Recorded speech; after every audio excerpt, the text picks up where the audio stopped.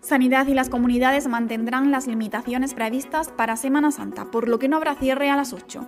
Hoy es miércoles 24 de marzo y esto es sumario de tarde.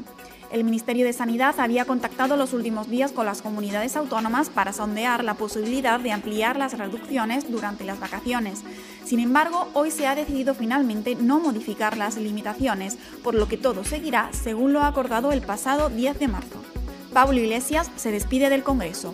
El líder de Unidas Podemos ha pronunciado hoy sus últimas palabras en el Congreso de los Diputados como vicepresidente segundo del Gobierno. También ha anunciado que dejará su acta de diputado para concurrir a las elecciones de la Comunidad de Madrid. Y hoy en el juicio de la Caja B del Partido Popular ha sido el turno de Mariano Rajoy y José María Aznar.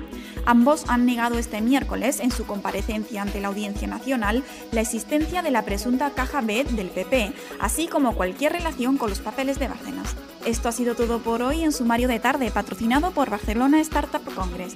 Soy Lidia Ramírez, mañana nos volvemos a escuchar.